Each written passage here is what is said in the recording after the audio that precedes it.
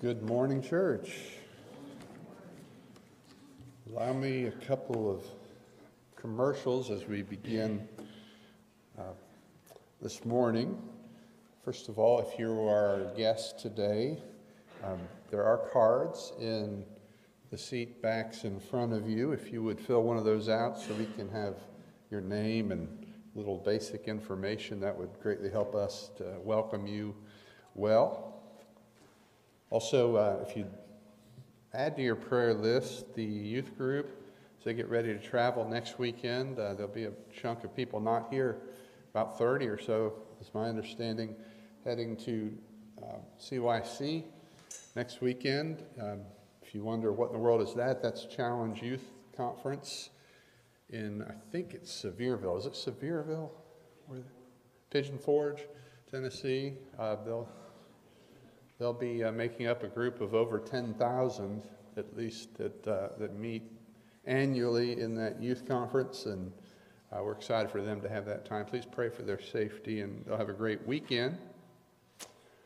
Also, uh, appreciate the, the portion of the prayer dedicated to our process of selecting additional elders. I want to remind you of that. Uh, in the back, there are forms where you can nominate men you feel are qualified and willing to serve. And um, we're in the, nomination process, I, I, guess you could say, and there's a form and then there's a box to place those in, or you can hand that to any of the leaders uh, here. And hope you're uh, really thinking about and praying about that as we go through that. Very important. It's said that uh, some Christians have a type of religion in which people get saved in the spring, grow cold in the summer, backslide in the autumn, and fall away completely in the winter. then they get saved again all over in the spring revival. Story goes that there was a revival years ago that had gone on for about 10 days, and people knew it was sort of reaching its height. And there's a certain man who came into the tent. They were having a revival in a tent. And uh, came in, sat in the back row one night, and the next night he, he moved about halfway up toward the front. And then the third night, there he was sitting in the very front row. And the fourth night, he, he broke out in prayer and and he was saying, Lord, fill me. He just kept repeating, Lord, fill me. And over to the side of him, there was a woman who knew him all too well. And she added her prayer, Careful, Lord, he leaks. Well, be that as it may, have you ever experienced a great revival? Now, depending on where you're from and your uh, preferred language, you may call it a, a, special meeting or a gospel meeting. You may call it a revival. Uh, but have you ever been a part of one, a really good one? And what is it that makes it good or not so good? Now, is it the preacher? Is it the singing? Uh, the music or the way people are responding, that probably varies from person to person as well, doesn't it? What is it that makes a particular sermon one that you either like or don't like? One that really motivates you or maybe bores you to tears? Again, that would probably have a lot to do with personal preferences, wouldn't it? Uh, one of the conceits that a preacher has to get over very early in his preaching ministry is the idea that, that everyone's just going to really love his preaching. And, you know, you have to realize that that just ain't true if you, if you want to survive. And so I know that I'm not everybody's cup of tea. And there's likely people here uh, that I'm not their cup of tea, and God bless you for being here anyway.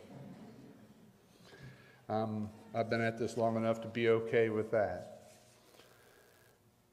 But I'd suggest to you that if we could have the Apostle Paul himself here in a gospel meeting or revival, that at least a, a significant number of us wouldn't prefer his type of preaching. Maybe even a majority of us. You find that hard to believe? I'll tell you, you read his letters in the New Testament, there were a lot of people that were not fans of Paul. A lot of people who didn't care for his style. Did you know that there were even people who fell asleep on the great preacher, Paul? Well, it's true. I was teaching a course at Ohio Valley University one semester. The course was on the book of Acts, and our practice was every week, you know, there was a reading assignment in Acts, and, and then we'd have a quiz or a test on that particular reading. And one time we had a quiz, and, and the following question was on the quiz. Question said, Did anyone ever fall asleep when the Apostle Paul was preaching? Yes or no? Well, I quickly found out who had read their assignment that week and who had not. So I'd like us to, uh, to read a few verses from Acts chapter 20 together and see what the right answer to that question is, okay? Acts chapter 20, we're going to read beginning at verse 7 down through verse 12. It says, On the first day of the week, when we were gathered together to break bread, Paul talked with them, intending to depart on the next day, and he prolonged his speech until midnight. There were many lamps in the upper room where we were gathered, and a young man named Eutychus, sitting at the window, sank into a deep sleep as Paul talked still longer. And being overcome by sleep, he fell down from the third story and was taken up dead. But Paul went down and bent over him, and taking him in his arms, said, Do not be alarmed, for his life is in him. And when Paul had gone up and had broken bread and eaten, he conversed with them a long while until daybreak, and so departed. And they took the youth away alive and were not a little comforted. Now, a couple things about this paragraph so we can understand what's going on here before we apply it. This event occurs in the ancient city of Troas, takes place on Paul's third missionary journey. The mission team is on their way back um, from their outward journey. They've been in Greece in places like Athens and Corinth. And on their way back, they stop in the city of Troas where there was a church. Although it's probably a church that Paul wasn't the, the, the founding missionary of. Uh, because on his previous journey, the Spirit had actually prevented him from staying there for uh, very long at all. You noticed, I hope, as we read there, that um, the writer of Acts, Luke, keeps using the pronoun we as he tells this story. You see, Luke is with Paul at this point in his travels, and, and so what we get in Acts 20, verses 7 through 12, is an eyewitness account. And uh, even more, we get an eyewitness account by a trained doctor. Remember that Luke is um, known as the beloved physician. And I think that's significant for what happens as well. So, what is it that, that takes place here at Troas on this occasion? Well, I would describe it as one great revival. And that's just one of the things. Now, it may not be the kind of revival that we were referring to uh, at the beginning this morning, but it's certainly a revival. And I would bet that this revival had an impact on everybody that witnessed it in a way that they never forgot. And probably many who heard it never forgot about it, don't you? Look at this paragraph again in Acts 20. And and try, try and let sink in a little bit more today what Luke says. He begins on the first day of the week when we were gathered together to break bread. I hope you appreciate the fact that 2,000 years ago, Christians assembled on the first day of the week, Sunday, to worship. Uh, two of the elements of that worship, perhaps three, are, are mentioned here in these few verses that we read. The breaking of bread uh, is the Lord's Supper. And, and then we have the study and the preaching of the Word of God by Paul. And then I think also implied, at least, is prayer. So Christians have been doing that for 2,000 years, and, Christians have done it today and Christians always will. There's a reason that we assemble on the first day of the week. It's always been the day of the worship assembly, it's always been the Lord's day. Um, John, the inspired writer, calls it that over in first chapter of Revelation, verse 10, the Lord's day. The first day of the week has always been the day that Jesus was raised. And so, why would Christians not worship on his day, on the Lord's day? Why would it not be the day to observe the supper that, that he founded, which remembers the Lord's death, burial, and resurrection? I know in some quarters it's fashionable, and some indeed mock and scorn those who would quote Acts 20 and verse 7 as a precedent and an example for taking the Lord's Supper every first day of the week. I've, I've heard people do that. In fact, I've heard them do it at me. But I always have a question for them. Just call it the smart aleck in me. in their churches, I will guarantee you that every first day of the week, they will take up a money collection of some sort. But there is no more and no less scripture for that act of worship, giving, than there is for the weekly observance of the Lord's Supper.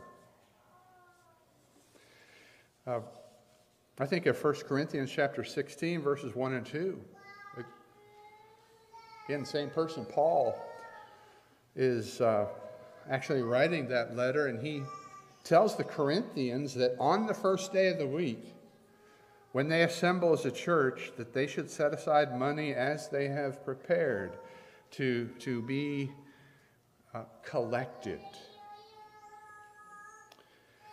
Sounds so much like what we read in Acts 20 and verse 7 and the Lord's Supper. Why would people be more interested in collecting money than taking the Lord's Supper? Just something that occurs to me. Anyway, in addition to communing together, the church listened to Paul, listened to him preach, right? On this occasion, in Acts 20. In fact, it says that, that Paul talked with them which may imply a, a bit of a less formal kind of uh, preaching than we're used to, where there's actually some give and take going on. The word that is used there to describe it uh, is that Paul dialogued with them. But then Paul makes what might be called a, a fatal mistake, at least for one person. He prolonged his speech until midnight. Can you believe the gall of the apostle to preach that long? To preach until midnight?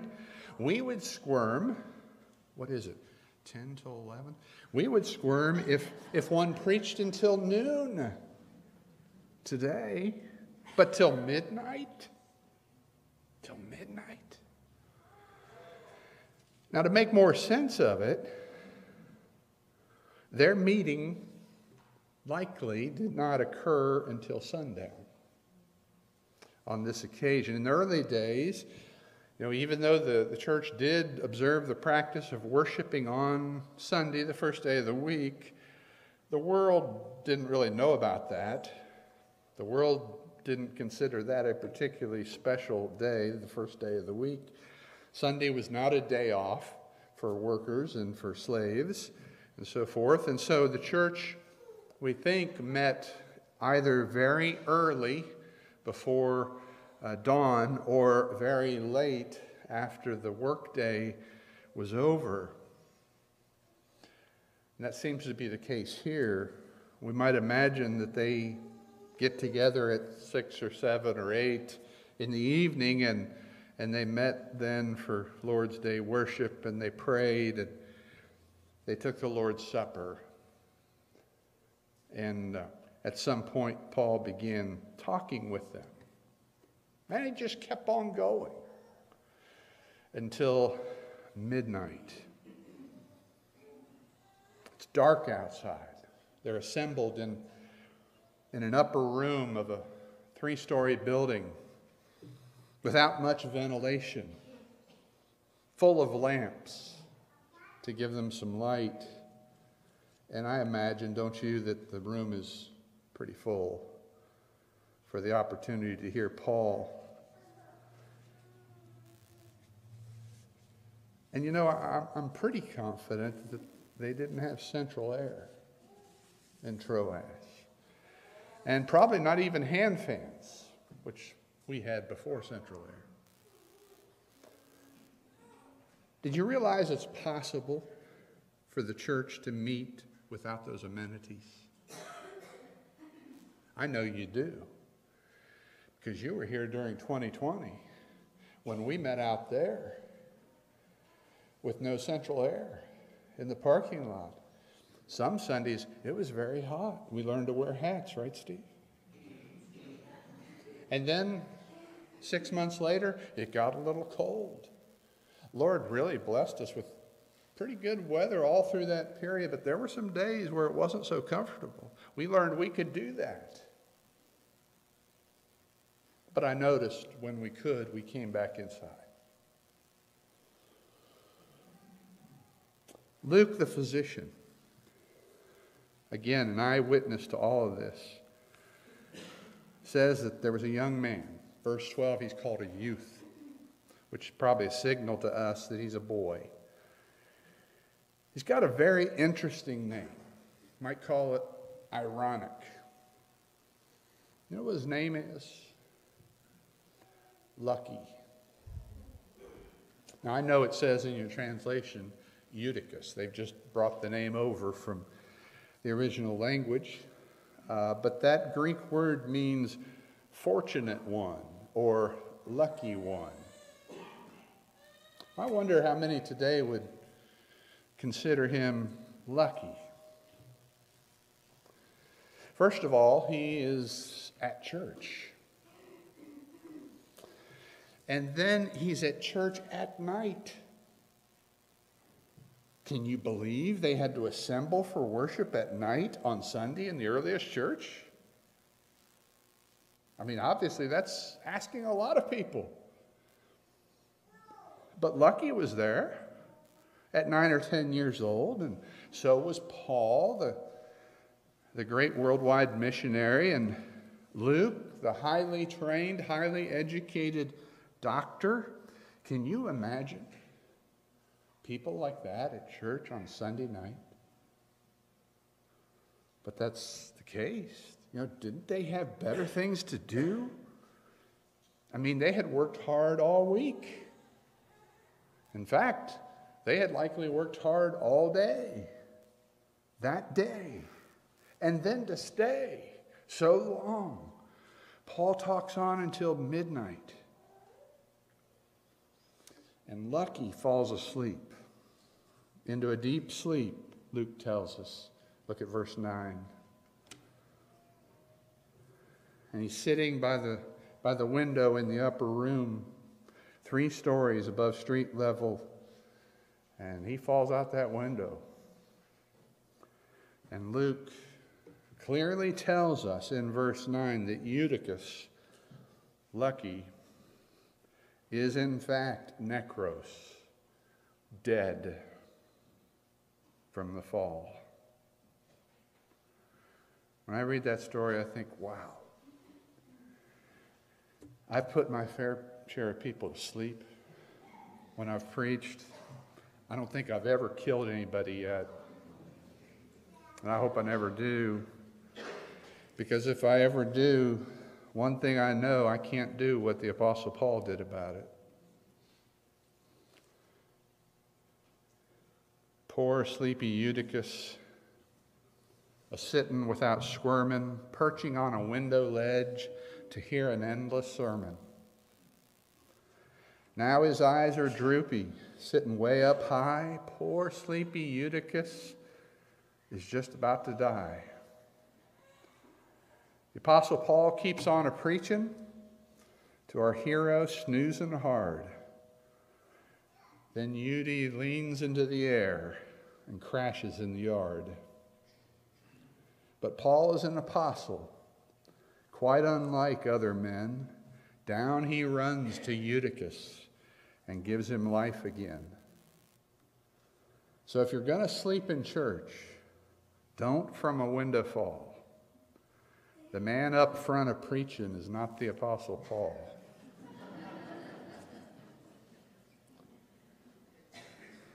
Paul goes down to the street, bends over the boy, takes him in his arms, and revives him.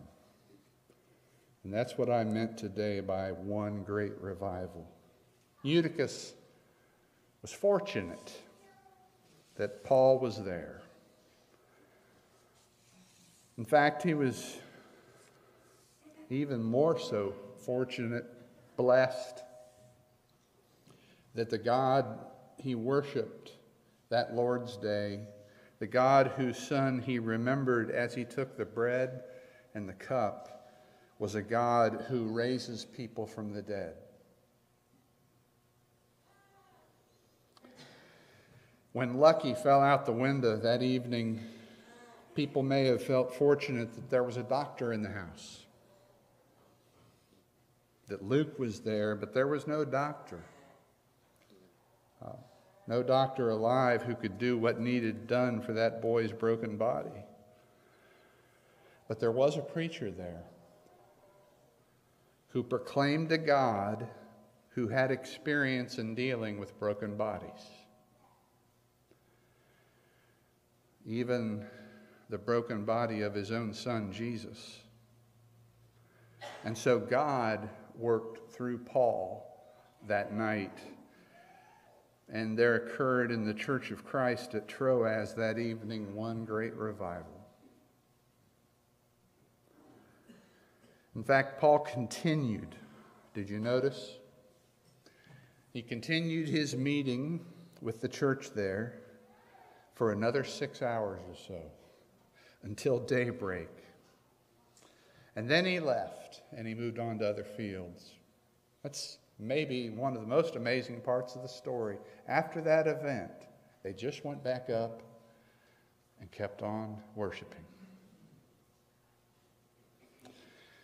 But the church, the text says, was greatly comforted as a result of what happened. They were encouraged, cheered up. In short, they were revived. And, folks, that happens any time the church truly worships. Anytime the church truly worships and remembers that we serve the God of life, revival is available.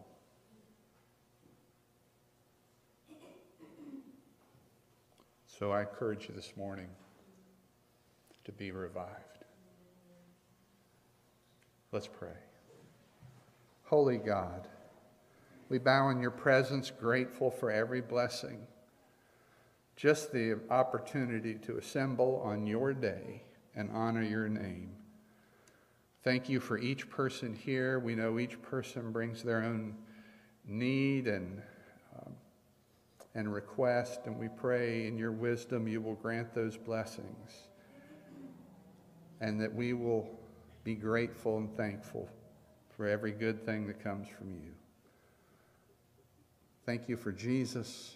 Thank you for his life, his death for us, and the fact that you revived him and raised him, and promise us the same thing if we will be in him.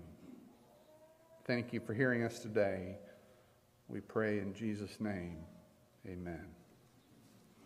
As we close, we thank you for being in assembly today, for listening for these moments, and pray that you've been encouraged in your faith. If we need to minister to you further in some way, maybe to pray specifically for something for you, or maybe if there's somebody here, uh, like last Lord's Day, that needs to meet the Lord in gospel obedience in the waters of baptism, all those things are ready, and uh, we, can, we can help you now or at any time. Please let us know what it might be that you need while together we stand and sing this song.